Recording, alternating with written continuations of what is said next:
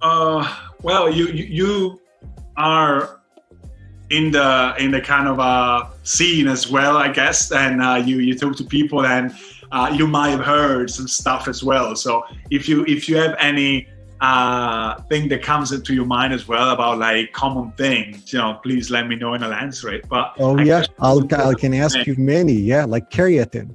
What when people tell you they would like to take creatine, what creatine. is it? Yeah. Okay.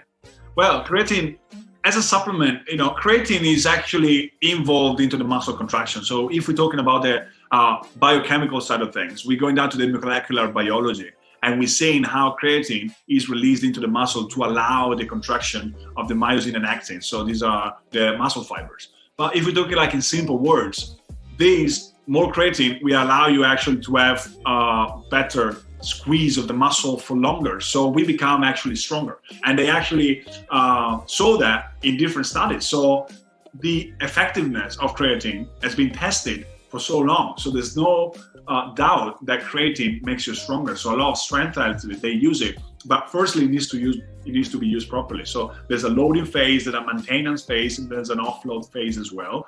That uh, me as a nutritionist usually recommend to different athletes based on their sports and their needs and what level they are as well. Because some people might be professional athletes and going for the Olympics, and some other people might just be recreational athletes training in the afternoon. So you don't need the same amount of this supplement for the results you need to get.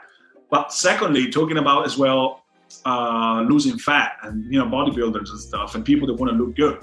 There's always a downside to creatine, which is uh, water retention, and water retention is caused by creatine naturally because it needs more water to squeeze the muscle because the muscle is requiring more nutrients and water is what makes as well the whole muscle living so if we actually put in more water to the body then of course we increase a little bit of body weight and we become stronger because you know the heavier we are and the more that we can lift but at the same time think about do you want to be a bit stronger or do you want to look a bit more defined because if you actually in a definition type of plan i always uh, avoid my clients having creatine because if we lose that little bit of water retention, then of course we might decrease a little bit of our strength, but then we can still use our uh, strength in a different way. So we use the weight in a smart way where we still have a lot of intensity on our muscles, but at the same time we're not holding that water, so we look better because if we uh, release that uh, water that is like under our skin,